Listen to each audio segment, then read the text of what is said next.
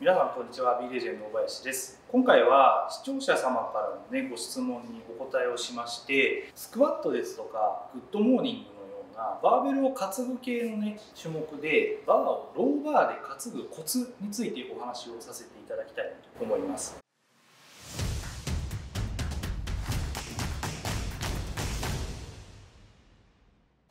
ね担ぐ位置によって実はその姿勢も若干変わってくるのでそのためのねコツっていうのもあるんですね。まあ一般的にね趣味でトレーニングしてる方が、まあ、スクワットなんかやるときに担ぐのは、まあ、大体首の出っ張りのねすぐ下のところで担ぐハイバーというスタイルがまあ一般的です。正直このハイバーでバーを担ぐ時には、まあ、特に何も考えなくてもちゃんと担げるんですよ。でバーも安定するんで特に意識することはないんですけど。もそのハイバーと同じ感覚でローバーで担いでしまうとバーが、ね、落ちてしまいそうになったりとか安定感が全然なくてねハイバーよりも全然できなかったりとかいうことがありますのでその辺のね担ぎ方のコツについて今回はお話をさせていただきたいと思います。先ほど説明したように首の出っ張りのちょっと下のところで担ぐのがハイバーでそれに対して三角筋後部の辺ですね。ファイバーよりも3センチから5センチぐらい下の位置で担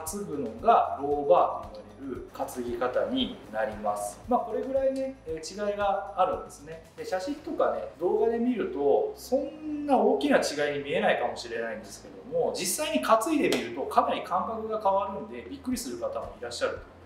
でこのローバーで担ぐメリットというのは一般的にローバーの方がスクワットでは高重量が扱えます。なのでとにかくねスクワットの重量を伸ばしていきたい。重たい重量でやりたい。という方なんかはローバーを覚えていただくと重量を伸ばしやすくなりますしローバーで担いだ方がお尻とかハムストリングへの刺激が大きくなりますので女性なんかでクワットでねお尻とかハムストリングを重点的に鍛えていきたい。そういう方は実はハイバーよりもローバーで担いでいただいた方が狙った筋肉を鍛えやすい。そういう場合もあったりします。そういう意味では特にね重量を追い求めてないような女性の方でもローバーで担ぐ方法っていうのを覚えていただくとメリットもあるかもしれません。では次にですねローバーで担ぐためのコツをねご紹介していくんですけども、まあ、3つありましてまず1つ目はスクワットとか、まあ、グッドモーニングやる際の、まあ、ウェアの選び方なんですけど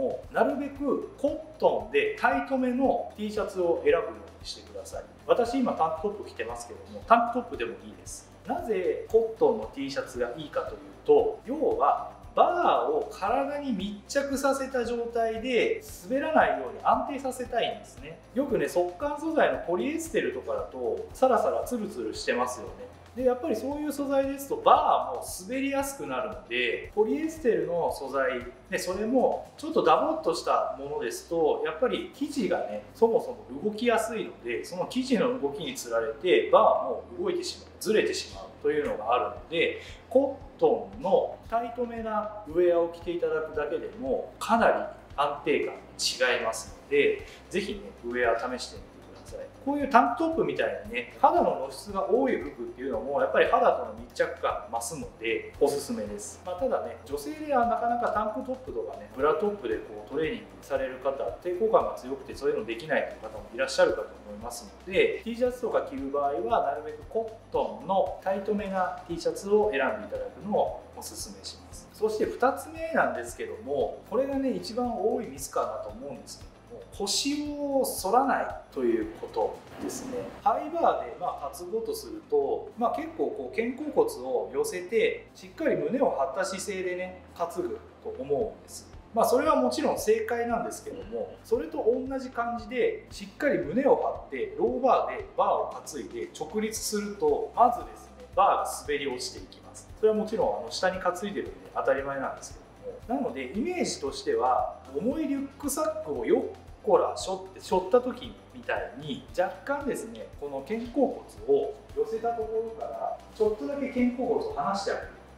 まあ、丸めるまではいかないですけども普通にまっすぐの姿勢で担いであげるそんな意識でバーを持ってあげるとよりですね安定させやすくなります。そして3つ目最後なんですけども担いだ時に顎を引いて目線をやや下に向けるということにあります。